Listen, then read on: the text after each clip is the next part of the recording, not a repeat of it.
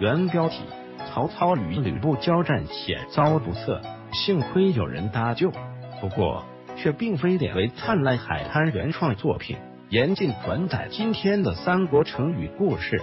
鉴于《三国演义》第十二回发生在曹操与吕布爆发的兖州之战中，相关人物是曹操和典韦。原文如下：吕布听说，弃了曹操，纵马向前追赶。曹操拨转马头，望东门而走，正逢典韦，韦拥护曹操，杀条血路，到城门边，火焰甚盛，城上推下柴草，遍地都是火。韦用计拨开，飞马冒烟突火先出。曹操随后一出，方到门道边，城门上崩下一条火梁来，正打着曹操战马后胯，那马扑的倒了。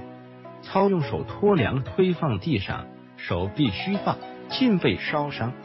典韦回马来救，恰好夏侯渊一倒，两个同救起曹操，扑火而出。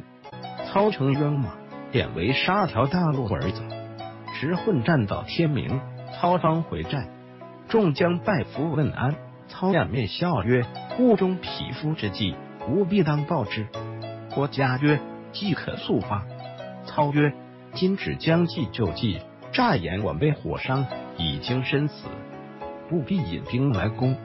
我伏兵于马陵山中，后骑兵万渡而击之，不可擒矣。”赢曰。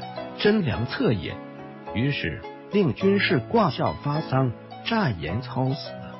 曹有人来濮阳报吕布，说曹操被火烧伤之际，到寨身死。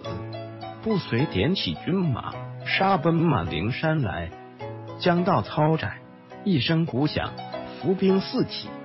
吕布死战得脱，折了好些人马，败回濮阳，坚守不出。按照小说的情节发展，曹操与吕布为争夺濮阳展开激战。曹操误中成功之计，贸然进城，遭遇惨败，几乎命丧吕布之手。幸好典韦及时赶到，保护曹操逃出濮阳。此后，曹操故意放出自己在城中被烧死的假消息，诱使吕布中计，并将其击败。本文要说的成语。便是文中所提到的将计就计，意为利用对方所用的计策，反过来对付对方。这句成语的最早出处是元代散曲家里文尾张子房《匹桥进吕》第三折中的将计就计。不好则说是好。曹操在与吕布交战期间险遭不测，是真实的历史事件。见于《三国志·武帝纪》，不出兵战，先以击犯青州兵。青州兵奔，太祖陈乱，石突火出，坠马烧左手掌。不过救了曹操性命的，却不是小说中的典韦，而是一位神秘的人物，他的名字叫做娄毅。《三国志·武帝纪》中说：“司马娄一夫太祖上马，遂也去，未至迎旨，诸将未与太祖相见，皆不。”司马是娄毅当时的职务。但这个人籍贯何处，事迹如何，在史料中均不见踪迹。参考书籍《三国志》《三国演义》，返回搜狐查看更多。责任编辑。